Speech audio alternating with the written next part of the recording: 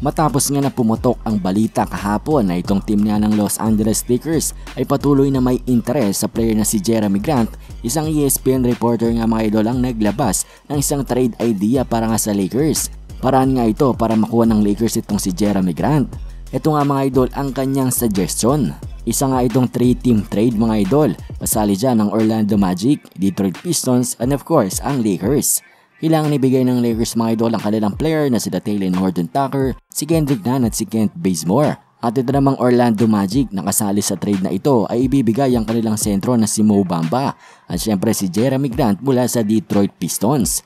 Ito nga mga idol ang Lakers matatanggap si Jeremy Grant, itong Pistons matatanggap naman si Kent Bazemore, si Mo Bamba, si Kendrick Nunn at ito naman si THT ay mapupunta sa Orlando Magic.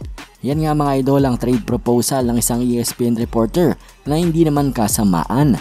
Ang problema mga idol, tatanggapin ba ito ng Detroit Pistons? Sigurado maghahanap nga sila ng mga future first round picks kung ititrade nga nila itong si Jeremy Grant. Pero anyways mga idol, kayo, ano bang masasabi nyo dito sa trade proposal na ito? Approve ba kayo dito or disapprove? Komento nyo lang mga idol ang inyong mga opinion. At sa ating next news naman, Stephen Curry gumawa nga siya ng scoring history. Ngayong araw nga ay umakyat na siya sa number 59 sa all-time scoring list sa NBA. Nilagpasan niya nga mga idol si Jamal Crawford.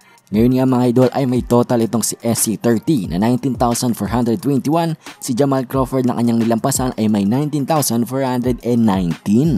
At base nga sa mga projection mga idol, itong si Stephen Curry ngayong season ay pwede ngang umakyat sa number 50 spot kung saan nandun nga sila Marcus Aldridge na may total na 20,337.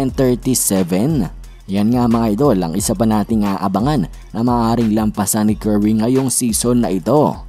At sa ating next balita na nga, patungkol nga ito sa galawan ng Philadelphia 76ers.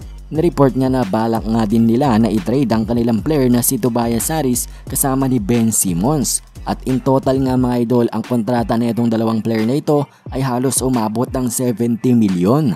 Kaya nga yan ang problema ngayon ng Sixers. Sino ang tatanggap na 70 milyon na kontrata? Pero mga idol, hindi lang pala yan ang balak na itong Sixers dahil kapag successfully nga na na-trade nila itong si Harris at si Simmons, binabalak nila mga idol na habulin nga si James Harden sa darating na summer, sa darating na free agency. Yan nga mga idol ang master plan netong Sixers. Kaya pala gusto nilang i-trade itong si Tobias Harris at si Ben Simmons dahil hahabulin nila si James Harden para nga dalhin dito sa team ng Sixers. Pero anyways mga idol, para nga sa inyo, ano bang mas magandang move para kay James Harden? Panatiliin bang super team dito sa Brooklyn Nets? Big 3 nila ni Kyrie at ni KD? Or pumunta nga siya dito sa team ng Philadelphia 76ers at kampihan at gumawa ng duo kasama si Joel Embiid? Komento niyo lang mga idol ang inyong mga opinion. At yan nga lamang din muna para sa ating mga balitang NBA ngayon. Maraming ang salamat sa inyong panonood. Bye!